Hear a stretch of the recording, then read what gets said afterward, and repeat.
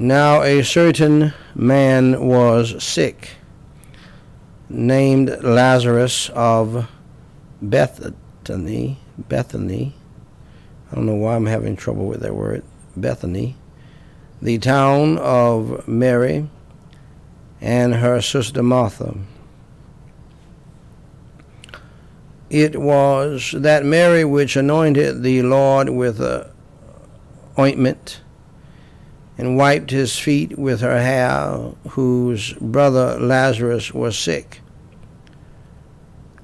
Therefore his sister sent unto him, saying, Lord, behold, he whom thou lovest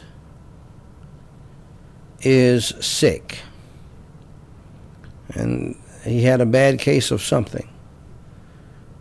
This was not just a little stomach ache or a fever or a headache. It may have included those things, but it was deeper than that.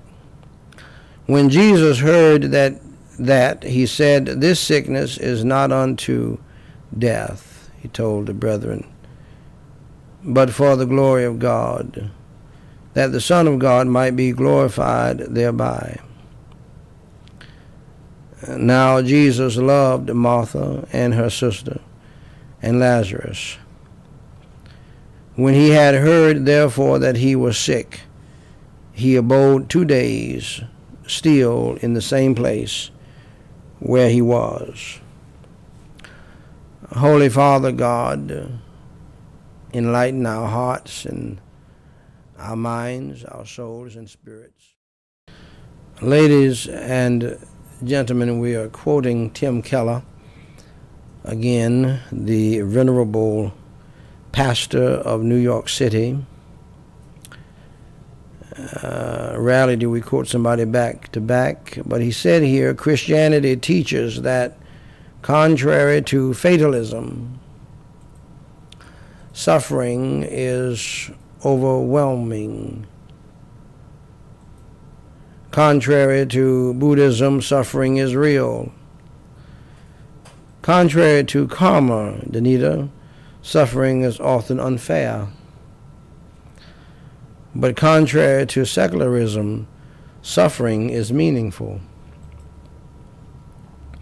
There is a purpose to it, and if faced in the right way, it can drive us like a nail deep into the love of God and into more stability. Yes, suffering has a stabilizing effect on, on people, there's no doubt about it.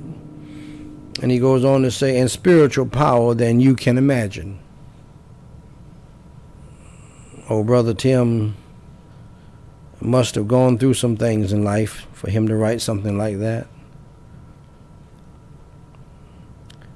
Uh, dear friends, when we have a desperate situation on our hands, we want people to jump very quickly at our beck and call.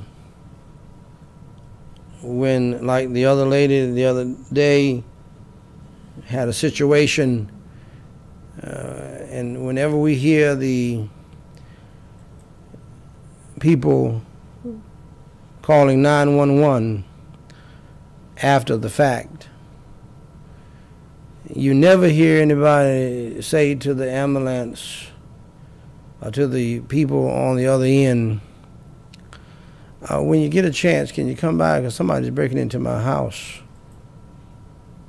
I know y'all busy and got other people you got to take care of, but uh, if you get a chance, uh, stop by here at 826 Chauncey Street. Uh, the Joker's al- almost in my house. I can see his head. Uh, yes, ma'am. We'll send somebody over. Okay, thank you very much. They don't do that. No, they want they want those folks, whoever they are, to move. They want them there. They want to hear some sirens right now.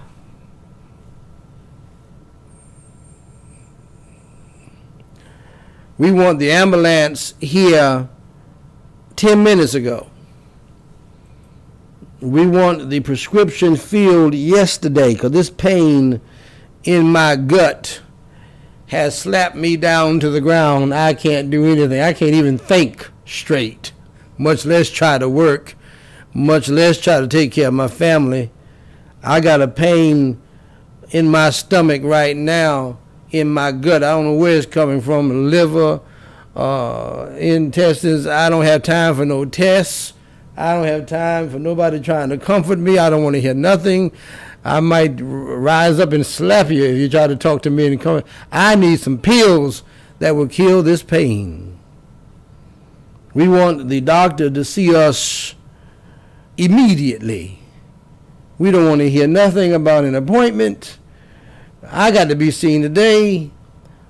And uh, since the advent of some new uh, hospital laws and insurance regulations, doctors are telling you now, uh, yes, we can give you an appointment in two months. What? I'll be dead in two months, precisely. Then you won't be able to come in, will you?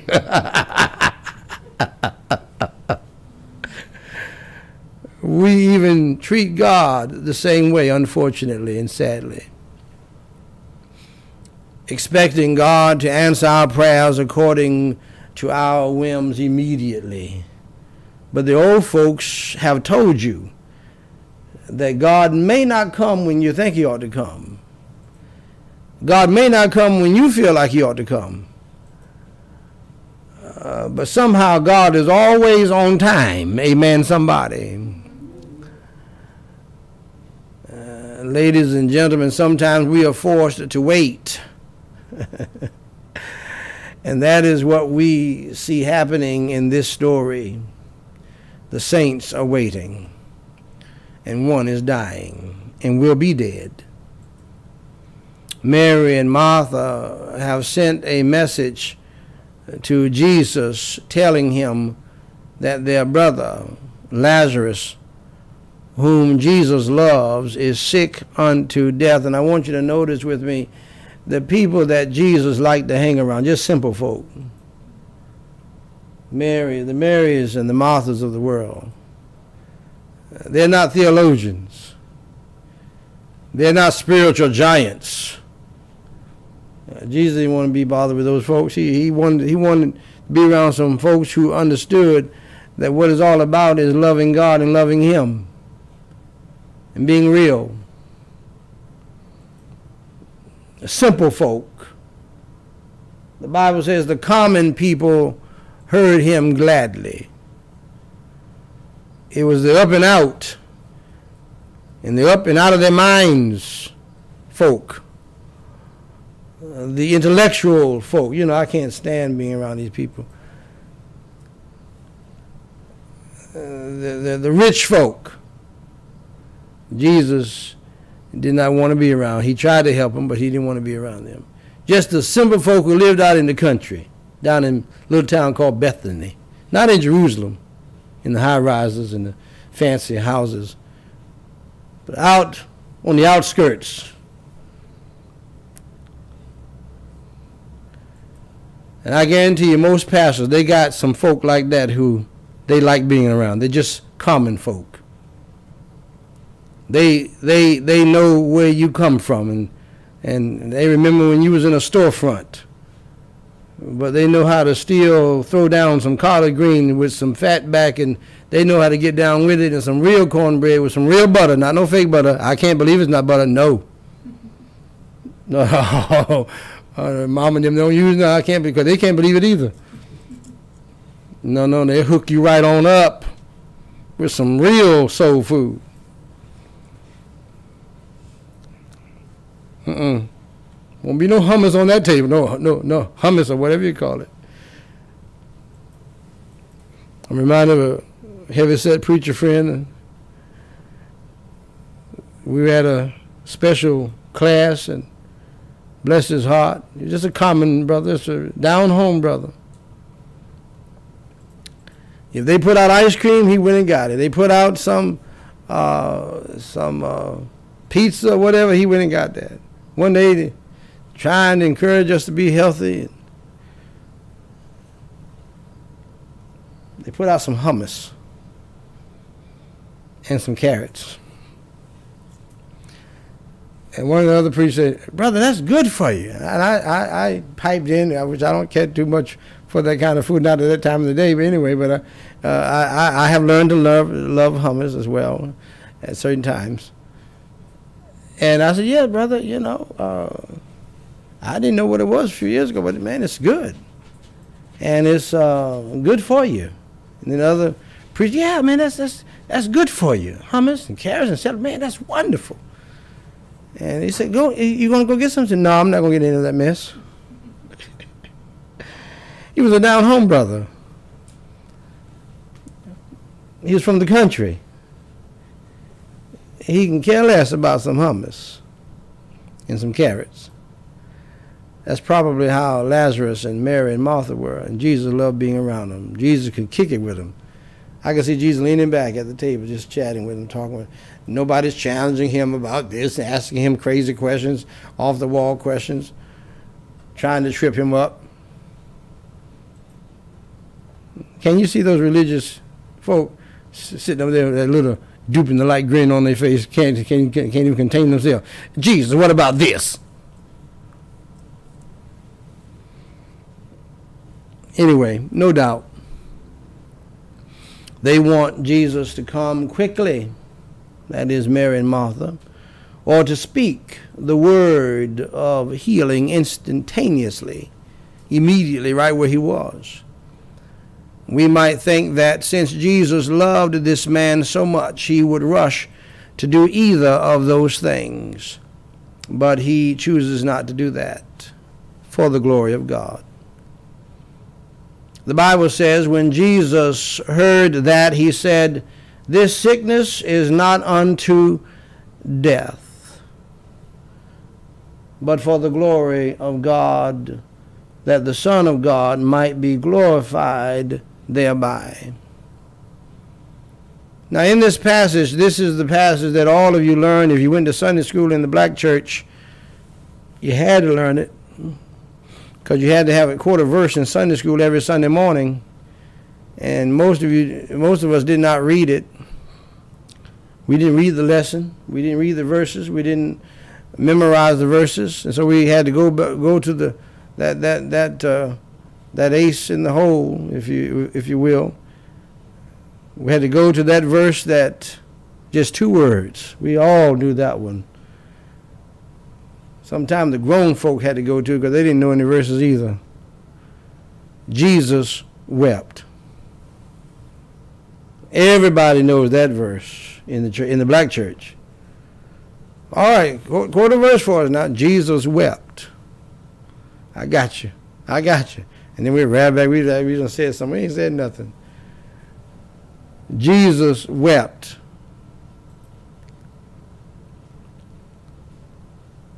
And some of you are wondering why Jesus wept. We'll talk about it more later. But, ladies and gentlemen, Jesus wept not because he loved Lazarus so much, and he did, and that's part of it, I'm sure. But I believe Jesus wept because he was saying to himself, This is just not how it's supposed to be if Adam and Eve had done what they were supposed to do, we, we would not have had to suffer all of this death.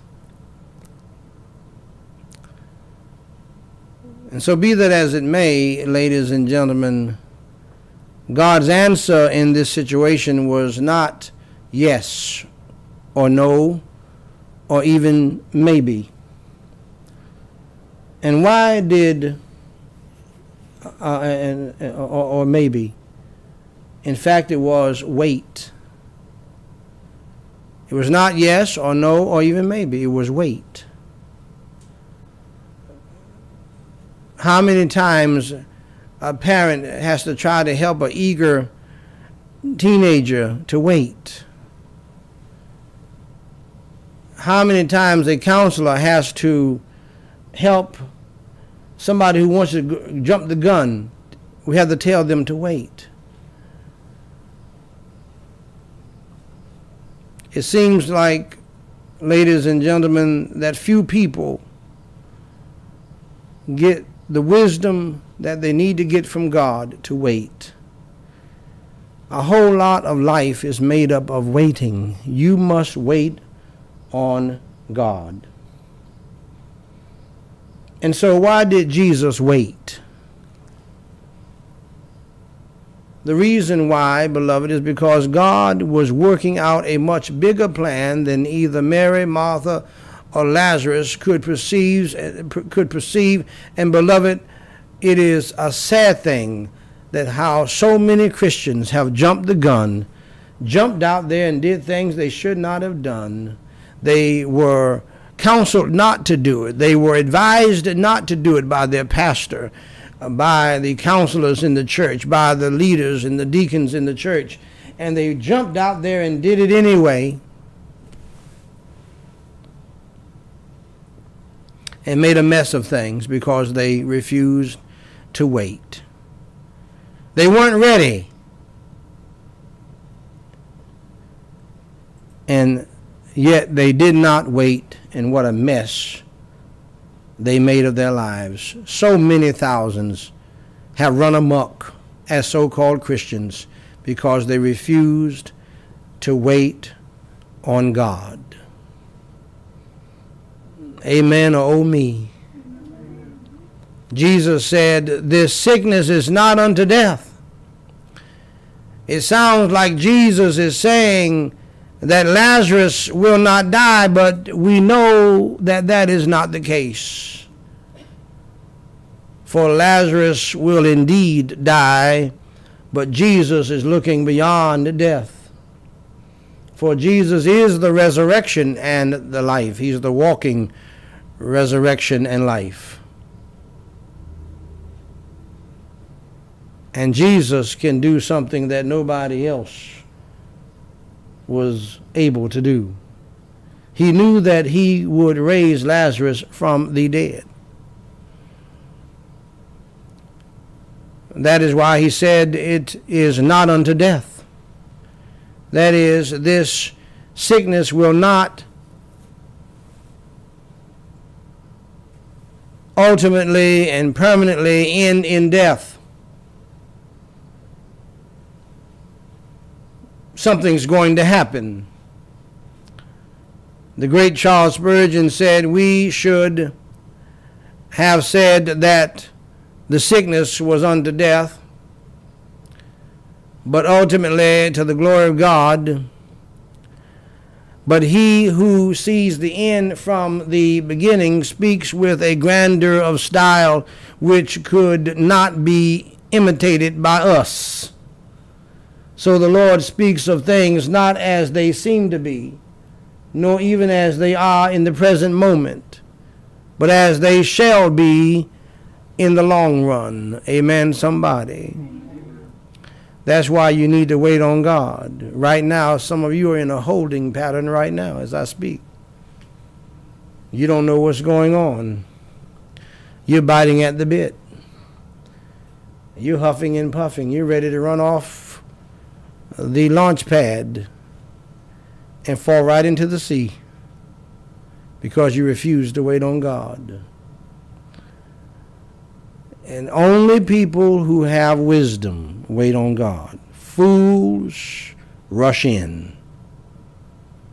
Foolish people rush in and they get burnt. You mark my words on that if you don't have that ability from God to see the end from the beginning, if you have not received that ability from God where you can see your life right in front of you and you can see right where you are and how that this right here may be a little dip and you're going to be there a while uh, uh, I would encourage you to pray and ask God to give you some wisdom some knowledge, some understanding, to be patient and to wait on God, and to give you the peace and the contentment to do that. Amen, somebody. I can't I can't explain that to you. I can't give it to you. There's not a book on earth that you can read to have this. You must get this from God. Amen somebody. So what will Lazarus Lazarus's sickness result in in the long run?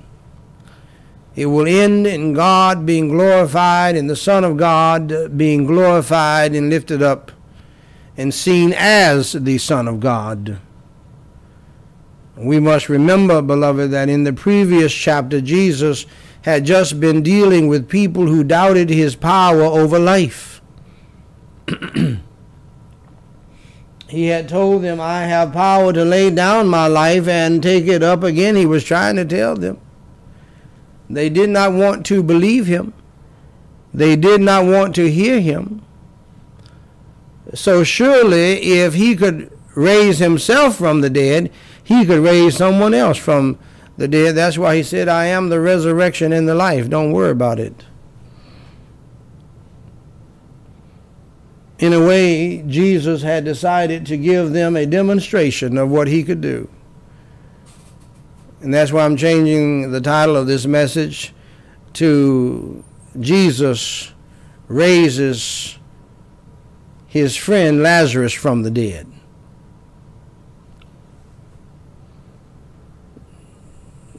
Think about that. He loved his friend so much. he missed his friend so much. He missed he missed kicking it with his friend. He missed his ace boon coon. He missed his road dog he missed his countrified trio at dinner time, eating fried chicken and talking and laughing and not being constantly uh, questioned with trick questions. They loved him for who he was, and he loved them in a real human sense. And you must understand that. But there was a difference. Amen, somebody. The difference is here.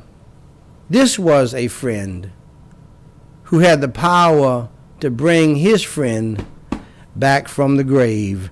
Amen, somebody. When we lose somebody, when we lose our Lazaruses of life, our Ace Boon Coons, our friends, and some and some friends stick closer to you than a brother. Amen, somebody. Uh, there's no doubt about it. There are going to be people that, that I will miss more than I miss my own family members. They are closer to me than my own family. They've done more for me than my own family. But when we go to their funeral and we stand over that casket, and when, when we see that thing that nobody gets over, when the casket with your friend's body is going down into the ground, into the night of the ground forever, until he's resurrected. That's a horrible scene. Nobody gets over that when Jesus arrived to Martha's and Mary's house, he was able to miss, or rather, he was able to raise from the dead the friend that he loved and missed. Jesus raised his friend Lazarus from the dead. It was to be another irrefutable proof that he is the Son of God, another reason for them to believe on him. Make no mistake about it, Lazarus' sickness and death was a bad situation. One of the sisters cried out and said, Well, he's dead and he stinks now. You didn't. You took your time coming. Basically, what they're saying. But this did not mean that Jesus had turned his back on his friends by allowing them to suffer through this pain. In fact, the gospel writer saw fit to reemphasize in verse 5 Now Jesus loved Martha and her sister and Lazarus. Jesus, being God, could see the end from the beginning. He knew the kind of power raising a man from the dead would represent to the minds of his audience. Lazarus, sickness and death served God's purpose for God's glory and for the glorification of Jesus Christ. This is important to remember when we face what appear to be terminal situations in our lives. Cancer, other illnesses, death itself. Yes, my dear friend, my dear parents, you're not going to be the only one who loses a daughter or son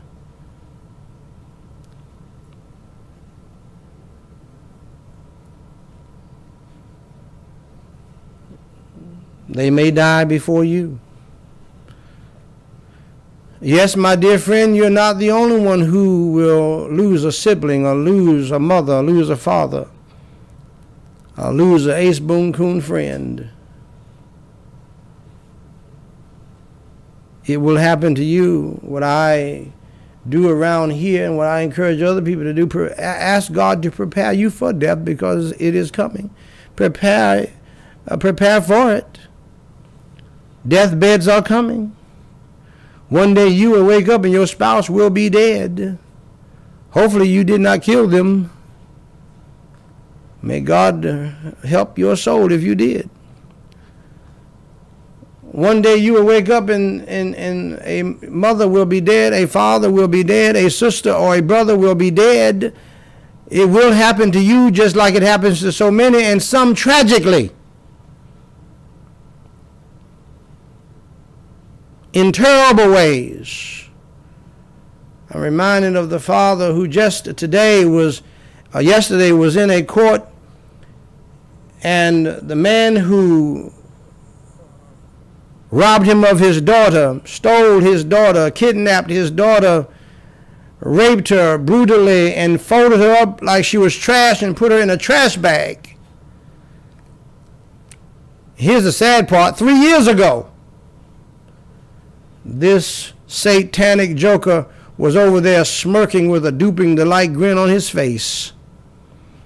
And that's what triggered this father, who has to be almost 60 years old, heavy set fella. He was he was rolling like a big old football player in the NFL. He jumped over that banister and he had his hands in a position to choke the life out of that devil. And I wish he had gotten him.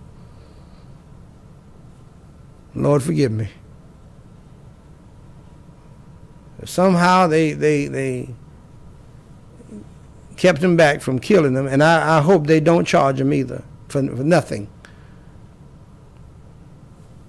There's not a father in America who would not have done the same with that, that devil with that smirk on his face. Deathbeds are coming. Divorce is coming, unfortunately and sadly depression, failures of many kinds. Ladies and gentlemen, we may wonder why God is allowing us to suffer instead of delivering us from our troubles, and God help the prosperity crowd. How's it working for you? Prosperity gospel people. Your life is in shambles. Your life is a mess and you're living a fake and phony life and you know it because you, you have troubles and problems and issues and you're doing everything you can behind your little prosperity gospel facade to keep people from knowing what kind of hell you're going through. You hypocrite, you phony, and you fake. You need to drop all of that And by the way, I said it before and I'll say it again. Buying a house on credit and going into big time debt trying to keep up with the Joneses and the Smiths and the pastor and his wife and uh, buying a big fine car on credit is not prosperity. That's called debt. Just wanted to tell you that that's free. You don't have to pay me for that. You say, I'll never listen to you again. That's fine. It's okay. I got you today. We must determine to keep in mind, beloved, that God sees the outcomes of such situations that we cannot imagine. That's why you need to wait on God. You must trust in God. There are things that will happen in your life that you can't do anything. God has fixed it so that you can't do anything but trust in Him and wait on Him and say, Lord, is up to you. Lord is in your hands. Amen, somebody. God has a much larger purpose that will bring glory to Him when all is said and done. As the song says, He makes beautiful things out of the dust. God wants to make something beautiful out of the dust of your life, dear friend. Your past, your present, your personality, your makeup, your goals, and yes, even your suffering and your pain. God wants to use the dust in your life and make it to be a blessing to many others. The pain in your life and make it to be a blessing to many others. I assure you of this. I guarantee you. The people who are helping the most people today have been through hell and back. See, God has a purpose for all of it. Amen, somebody. And finding out that purpose begins with a relationship with God through Jesus Christ. Just like Martha, Mary, and Lazarus, it must begin with Jesus. Dear friend, will you trust Jesus Christ as your Savior today and become His friend today, like Mary, Martha, and Lazarus? If so, here is how. First, dear friend, acknowledge that you are a sinner. This is one of the reasons why uh, Jesus loved Mary, Martha, and Lazarus. They understood that they were sinners. They understood that they were not all that in the bag of chips. They were humble. And they knew they were sinners and they knew that they needed a Savior. And once that relationship is worked out, once that situation is worked out, and you're not constantly trying to query Jesus and trip him up, and you just trust him as your Savior, and you love and experience his grace, then you'll have a good relationship with Jesus. So acknowledge that you are a sinner. Admit that you have done wrong in your life and you need a Savior. For the Bible tells us that we all have sinned and come short of the glory of God. And then realize that if you die without Jesus Christ, that you're going to an awful place called hell. But Jesus Christ died on the cross for your sins, was buried, and rose again so that you uh, do not have to go to hell. You can just believe on Him and go to heaven with Him, like Lazarus, like Martha, and just like uh, Mary. And if they can be saved, you can be saved. The Bible says, Believe on the Lord Jesus Christ, and thou and you shalt be saved. Jesus Christ himself said in John 3:16, For God so loved the world that he gave his only begotten Son, that whosoever believeth in him should not perish, but have everlasting life. How about it, dear friend? God wants to make something out of the dust of your life. And he can do it, and he will. He'll, he'll give you a significant life. he'll give you a life uh, of great value and of great importance. He's the one that makes that possible. Are you willing to believe in your heart that Jesus Christ died on the cross for your sins, was buried, and rose again? Pray with me right now as you do that. Phrase by phrase, I will lead you in prayer, called the sinner's prayer, asking God to save you through Jesus Christ. Holy Father God, I pray in the holy name of the Lord Jesus Christ. I realize that I am a sinner.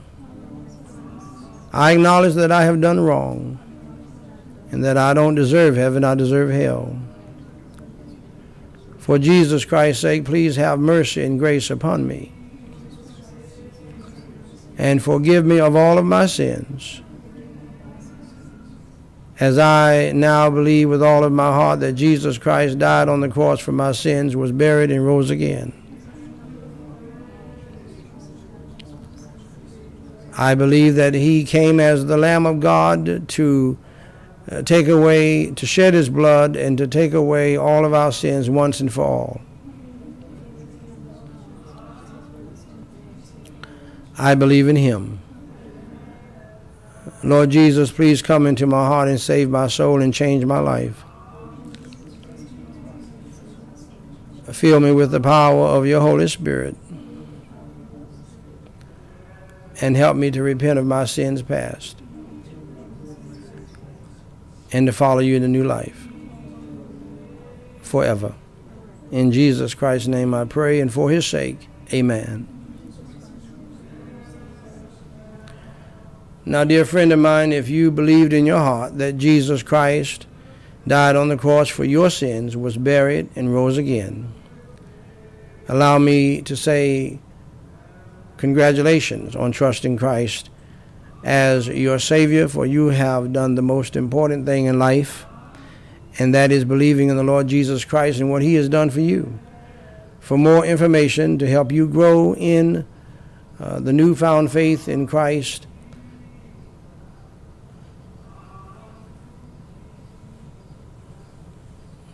please go to gospellightsociety.com and read my pamphlet, What to Do After You Enter Through the Door.